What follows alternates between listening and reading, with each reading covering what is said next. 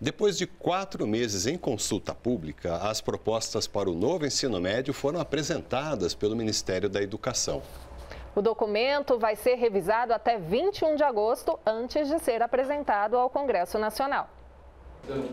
As sugestões foram divididas em 12 áreas, entre elas carga horária, Enem, equidade, educação à distância, infraestrutura e formação de professores. O que nós estamos fazendo agora é tentando é, corrigir, aperfeiçoar é, é claro que nós queremos melhorar o ensino médio, dar mais oportunidade aos nossos jovens. O documento será revisado por órgãos educacionais até 21 de agosto, antes de ser apresentado ao Congresso Nacional.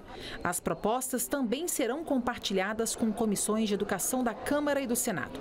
Entidades educacionais também contribuíram ao processo.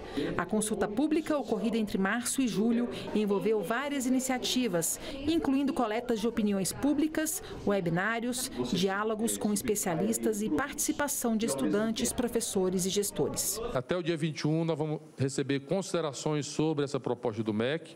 Repita, a proposta do MEC é fruto da consulta, mas nós não queremos construir nada sem diálogo, nós queremos construir um consenso em relação ao aperfeiçoamento, às mudanças necessárias para melhorar a qualidade da educação no ensino médio no Brasil.